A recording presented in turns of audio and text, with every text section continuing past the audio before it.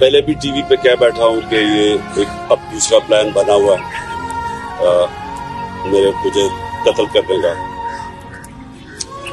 और मैंने ये पब्लिक भी कहा जब यहाँ लाहौर हाई कोर्ट था तो मैंने तब भी आ, जब जज ख्वाजा तारिक रहीम ने जज को बताया कि इनके ऊपर प्लान बना हुआ है यहाँ कोई सिक्योर एनवायरमेंट नहीं है इसको ना पेश करें वहाँ।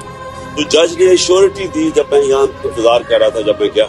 उसने श्योरिटी दी कि पुलिस इनकी हिफाजत करेगी वहाँ पहुँचा, वहाँ पुलिस ही भाग गई सारी।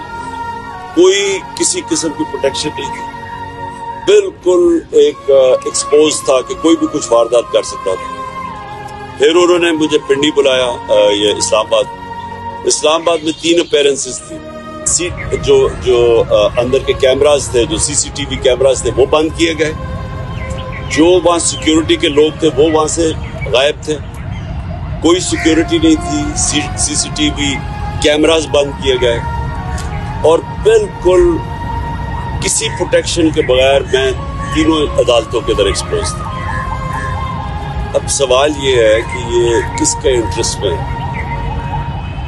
कि मुझे कौन आप प्रोटेक्ट करेगा? जिन्होंने प्रोटेक्ट करना उनसे ही खतरा है।